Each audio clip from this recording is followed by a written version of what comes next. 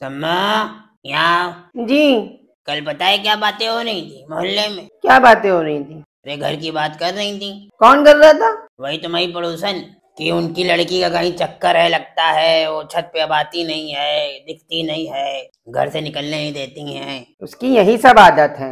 हम बहुत ज़्यादा उससे चिढ़ते हैं। मूड तो मेरा बहुत खराब हुआ लेकिन वही था कि औरत है तो हमने सोचा क्या ही मुँह लगे। अभी हम जाके कह रहे हैं उनसे अभी खड़ी होंगी छत पे दूध खा रही होंगी। अरे तुम कुछ कहना नहीं। नहीं कहे नहीं कहेंगे? या तो आप हमसे बताते ना हमारा काम मुँह रुकने वाला है। गलत बात बर्दाश्त ही नहीं हमारा खामा खा फालतू में लड़ाई झगड़ा करोगी। अरे जाइए हम जा रहे हैं।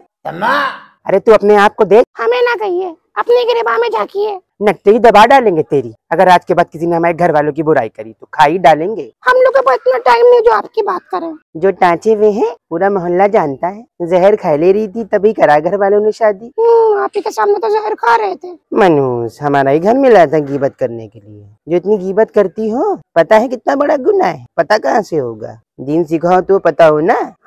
आप ही का तो सारा दिन पता है। नाचना गाना थिरकना मटकना यही सब तो आता है। हमसे फालतू बातें ना करिए। सुन ले हमारे घर की बुराई हमने कहीं करते हुए सुन ली अब सीधा एफ़ करेंगे।